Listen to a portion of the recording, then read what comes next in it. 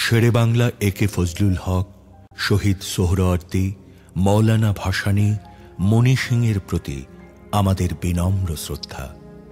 আমরা গভীর শ্রদ্ধা জানাই হাজার বছরের শ্রেষ্ঠ বাঙালি, জাতির পিতা বঙ্গবন্ধু শেখ মুজিবুর রহমানকে।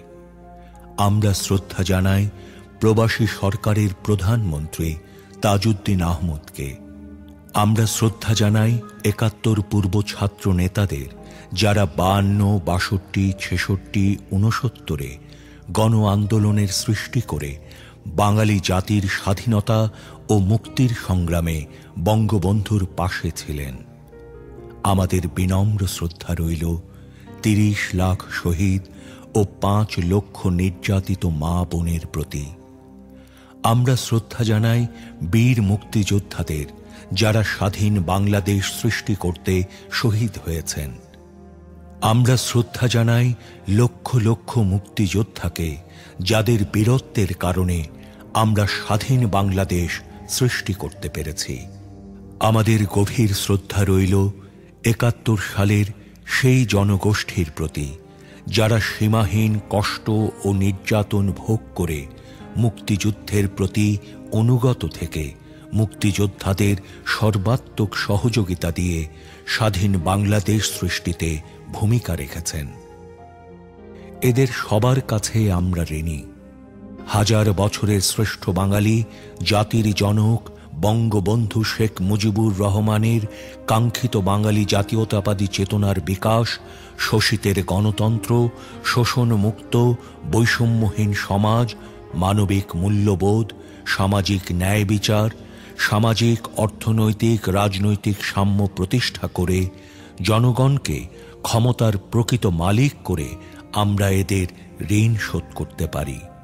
আসুন, আমরা আমাদের পূর্বসূরীদের ত্যাগকে স্মরণ করে তাদের নির্দেশিত পথে দেশকে এগিয়ে নিই। জয় বাংলা। আমার নাম মোহাম্মদ রফিকুল ইসলাম বাবলা। আব্বার নাম মৃত আবুল হোসেন মোল্লা। মাতা মোসাম্মদ রোকেয়া খাতুন। গ্রাম ঘলঘলিয়া রহিমপুর পোস্ট অফিস ভাতশালা থানা দেভাটা সাতক্ষীরা। আমরা চারি ভাই মুক্তিযোদ্ধা ইন্ডিয়ার ট্রেনিং প্রাপ্ত মুক্তিযোদ্ধা চারজন। আমি একজন ছাত্র নেতাও ছিলাম তৎকালীন সময়। সাতক্ষীরা গভর্নমেন্ট কলেজের ফাইনাল ইয়ারের ছাত্র আমি ইন্টারমিডিয়েট।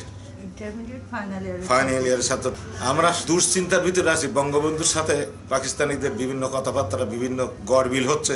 টান টান উত্তেজনার ভিতরে সময় চলতেছে তখন।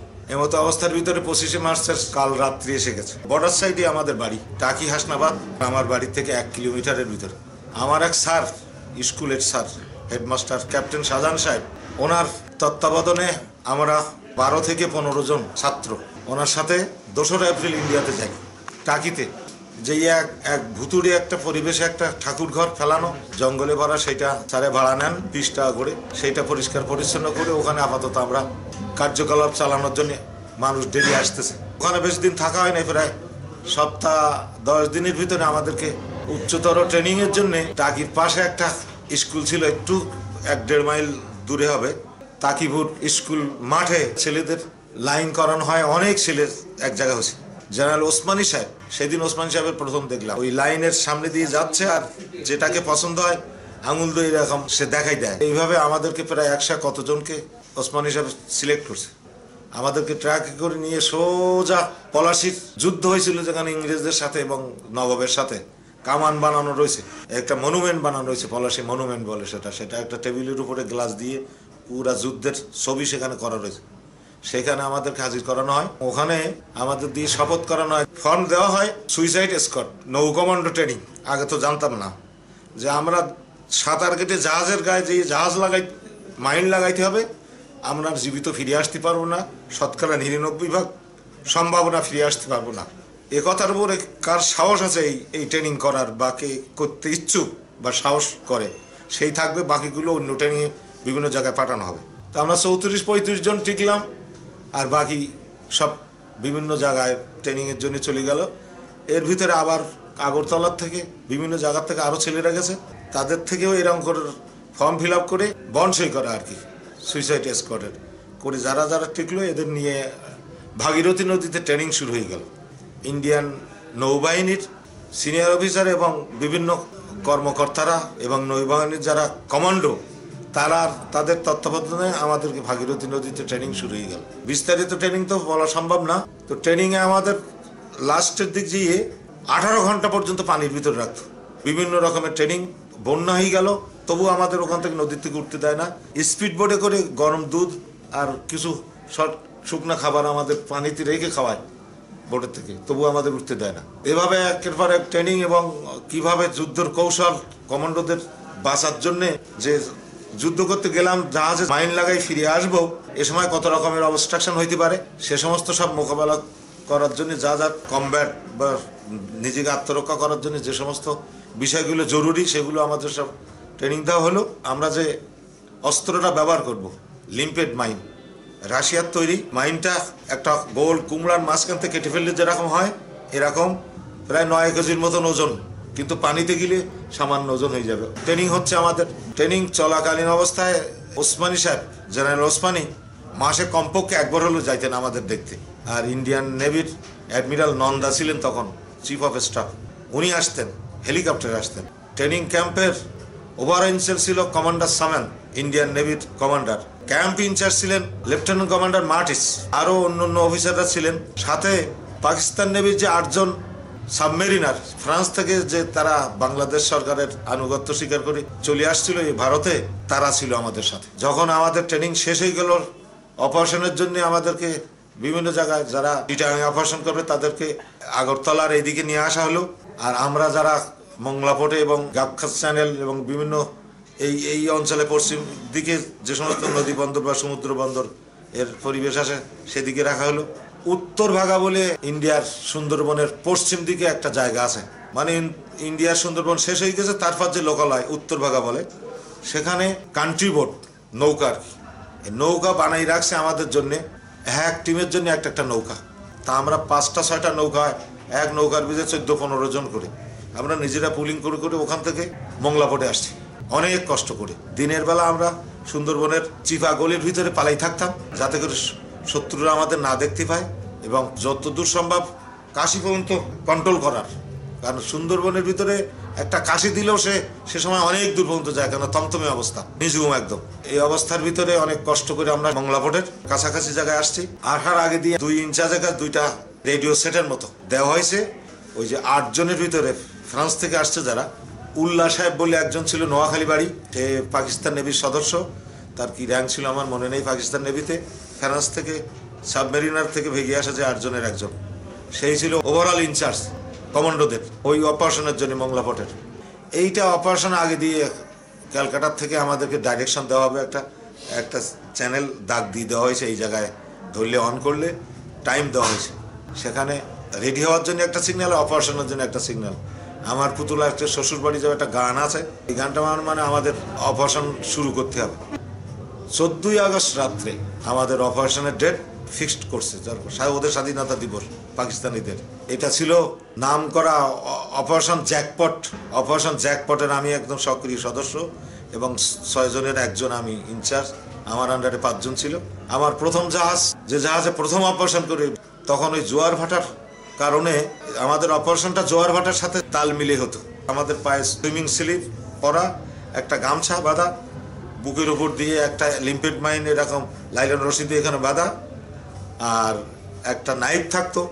এই যে গামছার ভিতর দিয়ে এখান থেকে করা দুইমুখী ধার।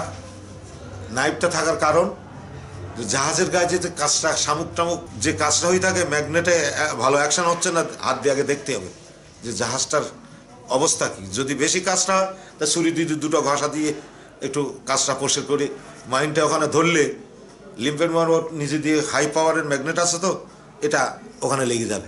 টেনে নিবে একদম ম্যাগনেট লোহার সাথে ম্যাগনেট যেন লাগে। ওর একটা ডান্ডা ছিল, একটা হ্যান্ডেল মতো লেগে। এই মাইন্ড থেকে কয়েক ইঞ্চি বেরিয়ে আসছে, তার উপরে একটা রাবারের কভার এই কভারটারে আসার সময় খুলে নিয়ে আসতে হবে। তাহলে ওইটার ভিতরে যে সিস্টেম আছে, ওখানে পানি ঢুকলে আস্তে আস্তে সিস্টেমগুলো সব রিলিজ হয়ে যাবে। ওর ভিতরে একটা সলিবুল প্লাগ বলে মোমের মতন একটা একটা পিস মোম, দেখতে মোমের মতন। এটা পানি লাগলে আস্তে আস্তে গলে যায়। তাছাড়া গলি গেলে পঁয়ত্রিশ থেকে চল্লিশ মিনিটের ভিতর গলি যাবে। তখন ওই ওই জায়গাটা ফ্রি হয়ে গেলে স্প্রিং করে ফ্রি হয়ে যাবে। লাস্টে দিয়ে মাইনের ভিতরে যেয়ে ডেটোনেটারের উপরে হিট করবে, আগুন ধরে যাবে, তার এক্সপ্লোশন হবে। এই সিস্টেমে অপারেশন জ্যাকপটে আমি প্রথম লাইটিনিং জাহাজ গিরিক শিপ ছয়শা ফিটের মতো লম্বা। এখনও যদি আপনারা দাদা ম্যাচ ফ্যাক্টরির খুলনাতে ওখানে যে জিজ্ঞাসা করেন এখনও সে তার বটমটা হয়তো ওখানে আছে। কয়েক বছর ধরে ছিল, ওইটা ক্রিকেট ফেলছে, তারপর কাটি কাটি নিছে। এরপরে একদিন পরে আবার আবার অপারেশনে গেলাম। ওশান গোয়িং এন্টারপ্রাইজ জাহাজের নাম। সেটাও ঘায়ল করছে আমরা। দুইটা অপারেশনের পরে আমাদের লোকজন সব ফেরত গেছে। ওই পলাশিতে ফেরত আসছে, কিন্তু আমরা তিনজন আর আসিনি। আমাদের যে কভারিং ছিল, যে আমরা নদীতে নামলে অপারেশন করি, উপরে অবদার ভেড়ির উপরে সত্তর আশি জনের বেশি অস্ত্রপাতি গান পয়েন্ট করে রাখতো।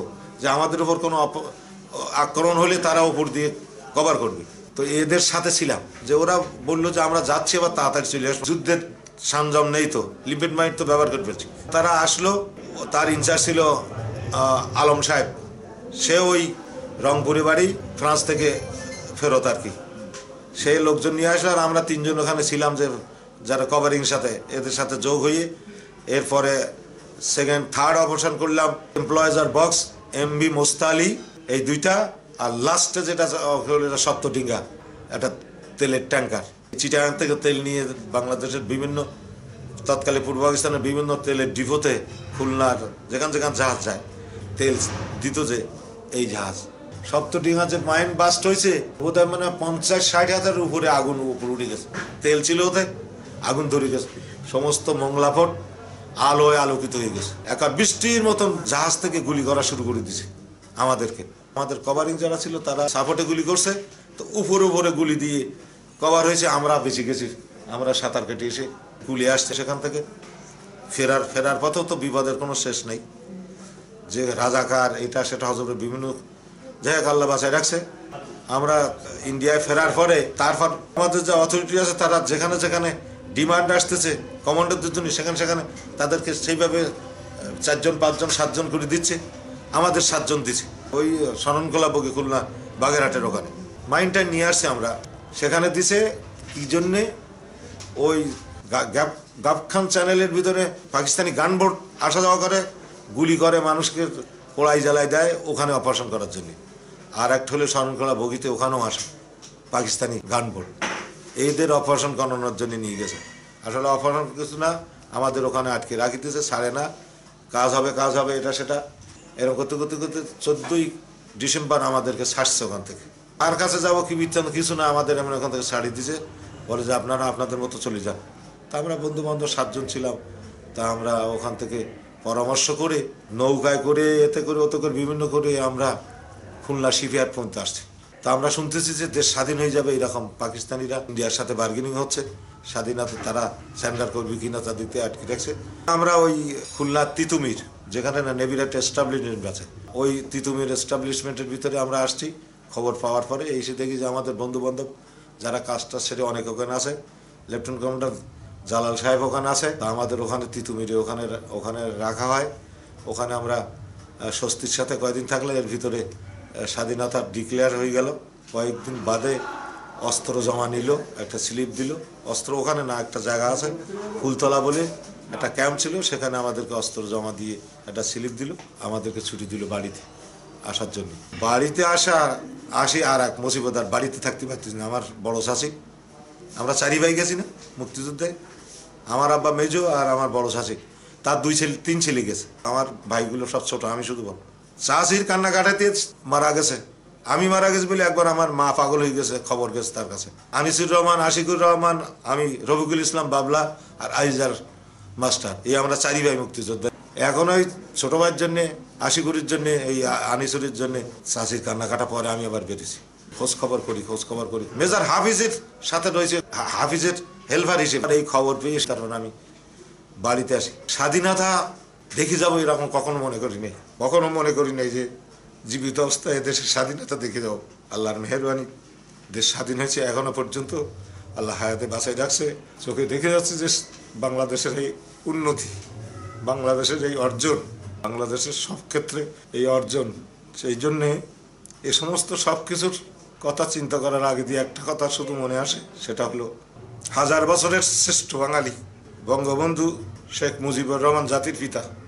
ওনার যদি জন্ম না হতো তাহলে দেশ স্বাধীন হতো না আর স্বাধীনের কথাও আসতো না কোনোদিন। আর এই বাঙালিদের এই সুখ স্বাচ্ছন্দ্যের পরিবেশ কোনোদিন আসতো না। আর বঙ্গবন্ধু কন্যা শেখ হাসিনা যদি বেঁচে না থাকতেন তাহলে মুক্তিযুদ্ধের কোনো চিহ্ন এখানে এই দেশে থাকতো না। আমি সবসময় তার জন্য দোয়া করি। নতুন প্রজন্মকে শুধু একটা কথাই বলব যে আমরা কষ্ট করে দেশ স্বাধীন করে এনে দিছি দেশকে ভালোবেসে দেশকে এগিয়ে নেওয়ার দায়িত্ব তোমাদের। সেখানে যদি তোমরা ত্রুটি করো, তাহলে তোমরা কাঙ্ক্ষিত জায়গায় পৌঁছতে পারবে না কোনোদিন।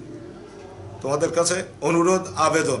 তিরিশ লক্ষ শহীদ ও পাঁচ লক্ষ নির্যাতিত মা বোনের সম্ভ্রমের বিনিময়ে আমরা স্বাধীন। লক্ষ লক্ষ মুক্তিযোদ্ধা বীরত্বের সাথে যুদ্ধ করেছে বলে আমরা স্বাধীন। হাজার হাজার যোদ্ধা বীরত্বের সাথে যুদ্ধ করে শহীদ হয়েছে বলে আমরা স্বাধীন।